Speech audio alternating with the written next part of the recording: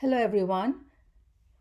The topic of this lecture is uh, again on the consequences of the Second World War, but uh, we will be discussing a particular group uh, uh, in Australia who were affected by the Second World War.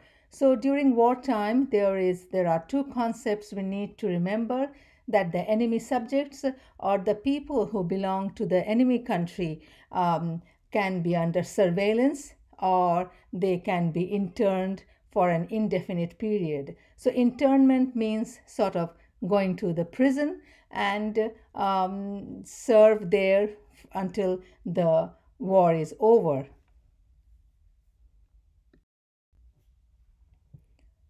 These are the pictures of uh, three women uh, who um, are Australians uh, of uh, Albanian background and uh, they sat for the interview. They participated in my research when I was doing my research uh, PhD doctoral thesis uh, on uh, the Muslims in Australia. So, my PhD thesis mm, covered the period from 1860 to 2002 and uh, so it's about 140 years of uh, Muslim history in Australia, but it was within the framework of Australian immigration history. So what I tried to see, you know, how different groups of people settled in Australia during that period, and um, and the focus was on the Muslims in Australia. So I looked into their settlement issues um, for my um, PhD thesis. So uh, the, these three women, uh, they um, uh, were very um, uh, very kind to um, participate in my study, and they shared their um, experience during the Second World War.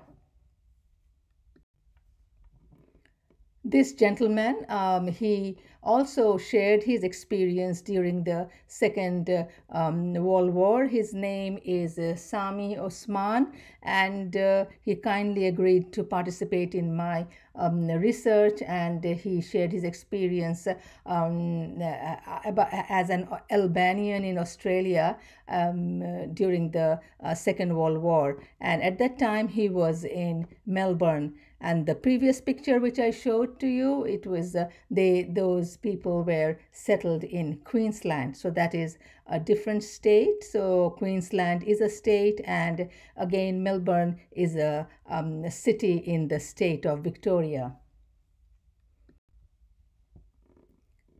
So what is internment? Inter- internment is defined as the arrest of an individual who could be taken into custody seemingly arbitrarily for an indefinite period without presentation in a court of law or a public hearing.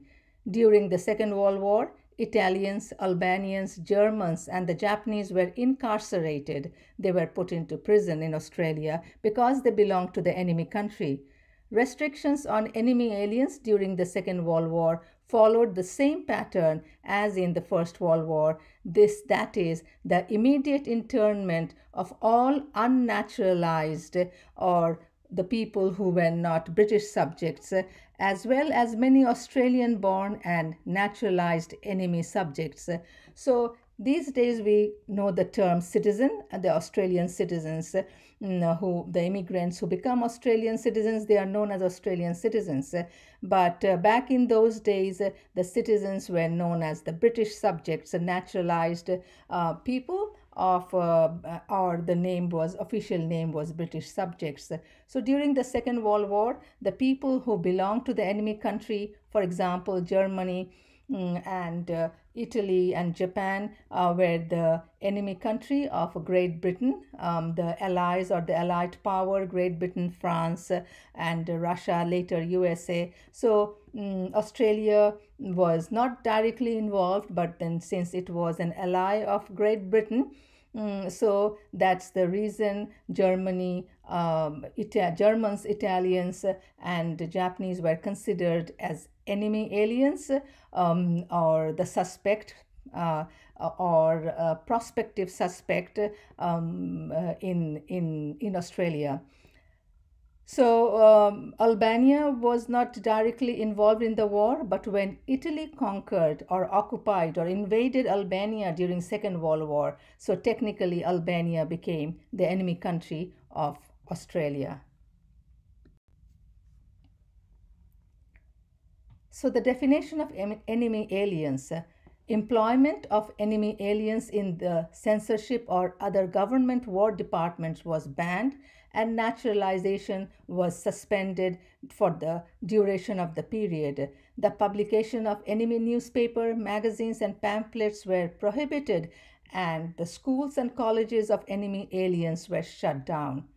So the specific regulations were promulgated under the National Security Act of 1939 to 1940 to implement internment arrangements. So enemy aliens were the the people, the aliens as they were known, the, the people who were not citizens, their official term was uh, immigration official term, or in the Im immigration office, it was aliens, or the British subjects who were citizens uh, um, of Australia, but if they belonged to the enemy country, they were known as the enemy aliens.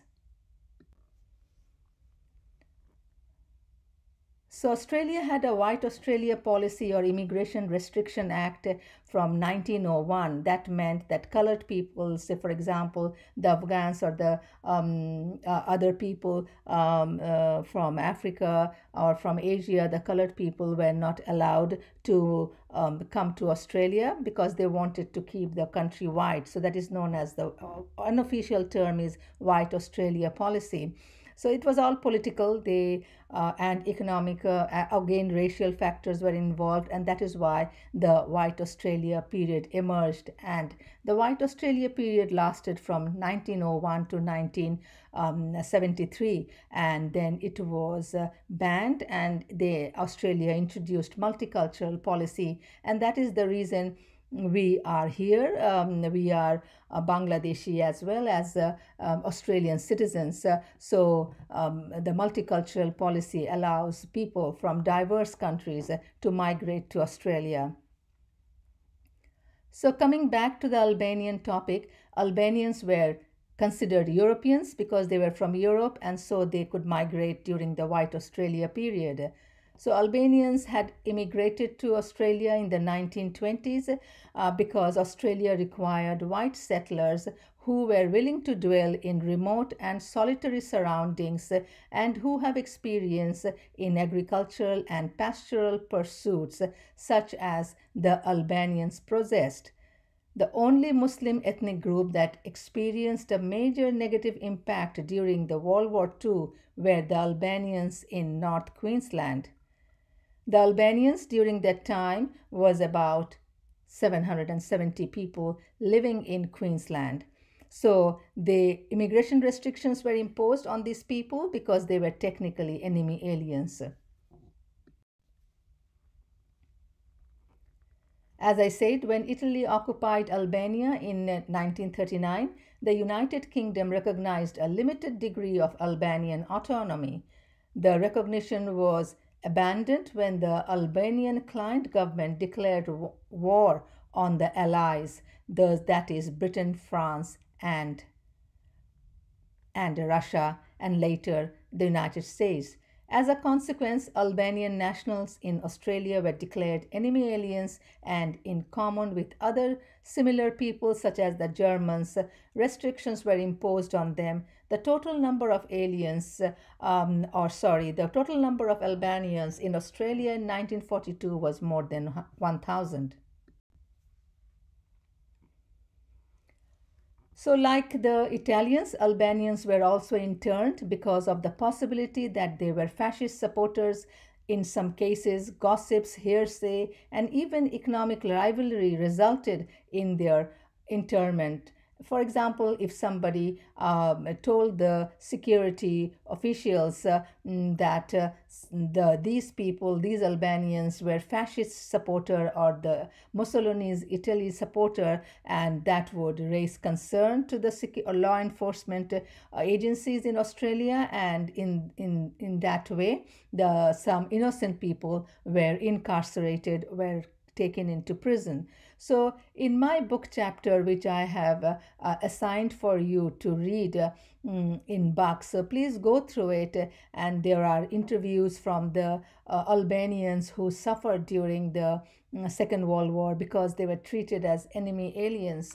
Uh, in this in this uh, um, uh, lecture, um, uh, which I have uploaded it in buX and currently speaking. So you can see the interviews um, about of the family members who were interned.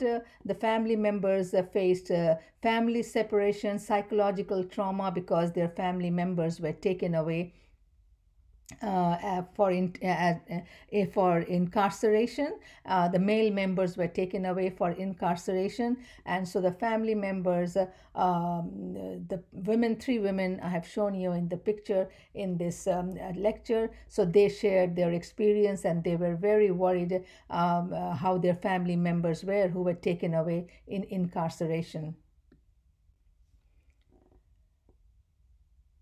So the interview uh, shared with me how their uncle was interned and how, what was the suffering of uh, the family suffering when her husband, when her sorry, when her uncle um, was incarcerated by the Australian law enforcement sector.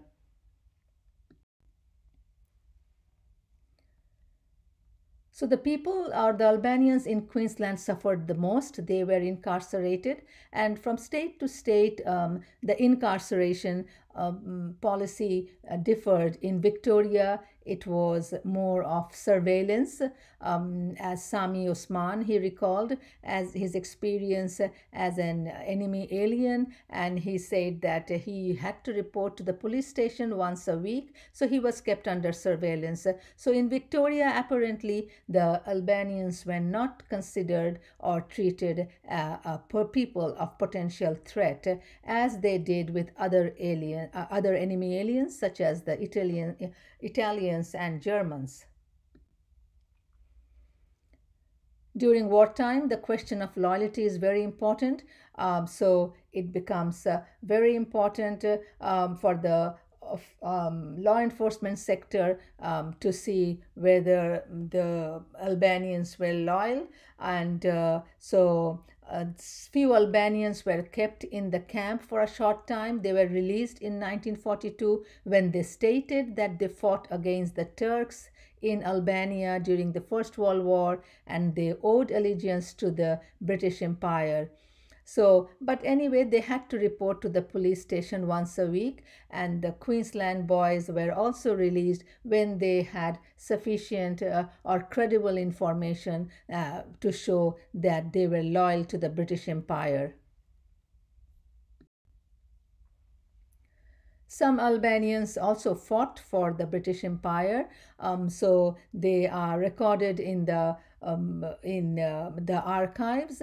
Uh, for example, the Albanians received fairly even handed treatment both in internment and naturalization as British subjects because they belonged to a European race and their labor was needed. They did not pose any direct threat to the empire. A few Albanians were permitted um, to join the army.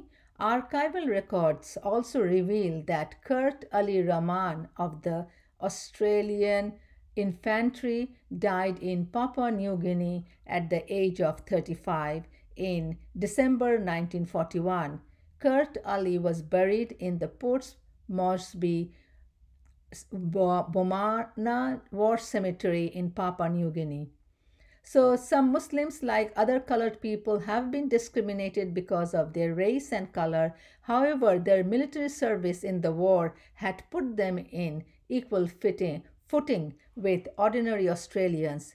Islam was never a criteria of uh, discrimination during the World War one. Um, so when we dis discuss the topic of uh, Muslims in Australia or the immigration history of Australia later in our lectures, we will find that religion was not a criterion of dis discrimination um, in Australia mm, before the 9 11, before the September 11, 2001 terrorist attack in New York and uh, Pennsylvania, Muslims were uh, discriminated not because of their religion um, in, in the historical period, it was because sometimes they were discriminated because they were colored people. So, color was, um, or the race was the criteria of discrimination uh, in the historical period. So, that's all for today. Thank you.